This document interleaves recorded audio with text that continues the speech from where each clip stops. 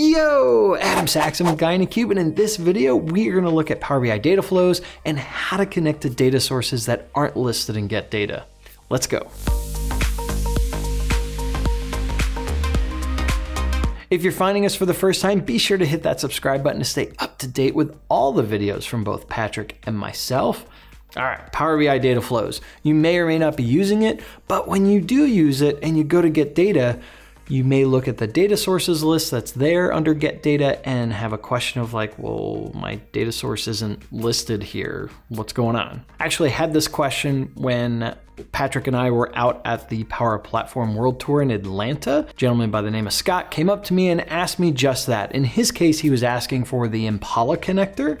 And so what I mentioned to him was, all right, wait, enough of all this talking. Let's head over to my laptop and actually look at this. All right, I'm in the Power BI service and I'm on the data flows tab of my demo workspace. And if I go to create and come down to data flow, I will define and add a new entity. Right away, we see the data source list that's available here. So in the case of Scott, he was looking for Impala. And if I just search for Impala,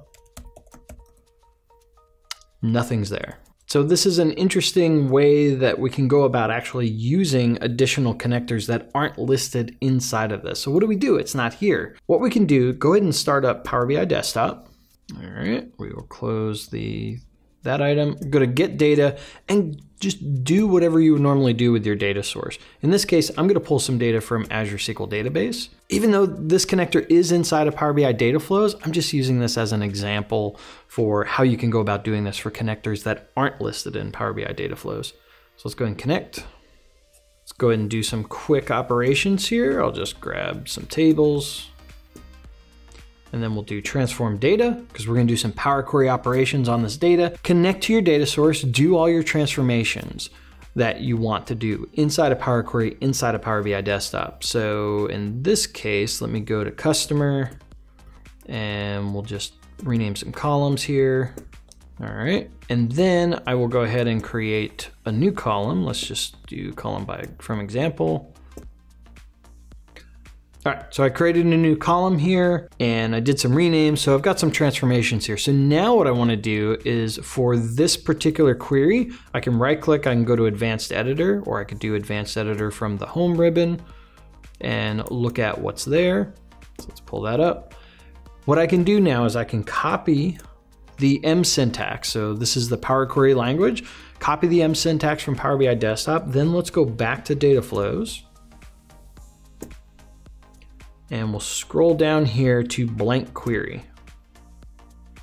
All right, and then I will paste that into the editor and then we'll hit next. Then we need to configure the credentials because now we're connecting to Azure SQL Database. It doesn't know what my credentials are. So then I can go ahead and put in those that item. So let me do that real quick. All right, and then bam, there's my data. And it's already got my full name column here which I did in that Power Query syntax. So it took all of that and just ran with it. And then I can change this to customer. And I've got my item connected to Azure SQL Database in this case. So going back to get data, again, you can, if you don't see your connector in the list in the GUI, try doing it inside of Power BI Desktop, copying the M script and bringing it to data flows using a blank query it may work for you. In the case of Scott at the Power Platform World Tour in Atlanta, I mentioned that for the he was trying to connect to Impala. I said, look, try it. Uh, off the top of my head, I didn't know what the list was of data sources that were supported outside of the Get Data screen and so it may or may not work, but give it a try. That's one way to, to go kick the tires on it. There is a documentation out there on how to connect to data sources from Power in Power BI data flows, and there's a section here called connecting to additional data sources, which also walks through these steps.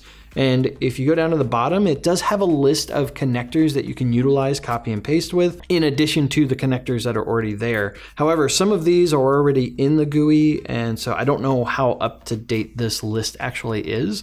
So definitely try the connector. If you can't figure it out, just give it a try. Worst it's gonna do is give you an error. The other thing you could do, like in the case of Impala, you could just use the ODBC driver and go that direction. So the ODBC or OLEDB providers are always a good generic route that you can go through and do those items with. It will require the gateway to be configured, but that's something you could also give a try to. And I'll have a link down in the description below to this article that you can go through and read you feel so inclined. All right, I want to pass this off to you. What do you guys think? Have you tried to use Power BI data flows but got stuck because your data source wasn't listed? Did this give you the direction you needed? Let me know down in the comments below. I want to hear it. If you like this video, be sure to hit that big thumbs up button, smash it if you so desire. If it's your first time here, hit that subscribe button. And as always, from both Patrick and myself, thank you so much for watching. Keep being awesome, and we'll see you in the next video.